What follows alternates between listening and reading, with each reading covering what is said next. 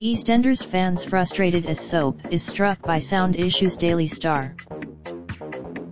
We use cookies to help our site work, to understand how it is used, and to tailor the adverts presented on our site. By clicking accept, Jean Slater's emotional reunion with Sean was marred by a glaring error.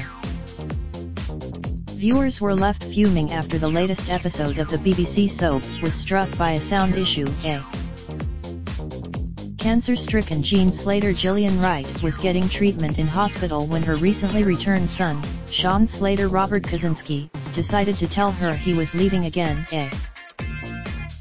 An angry Jean refused to listen to Sean, and demanded he sit down next to her for a heart-to-heart, a.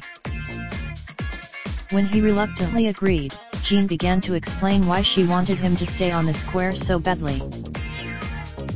But midway through their chat, the sound cut off, leaving background noise playing while Jean spoke to her son, A.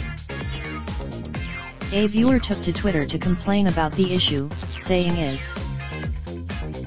The fan added was it to make it seem like he was hearing her say something else? Things look set to get tougher for Jean, with suggestions that Sean could end up killing himself, A. He had been devastated to discover Roxy was dead, and lashed out at Jack Branning Scott Maslen as he was brought to the church, realizing his ex had actually been gone for two years. But in a horrifying twist, Sean revealed to Roxy that he is planning on ending his life as he told her that he would be.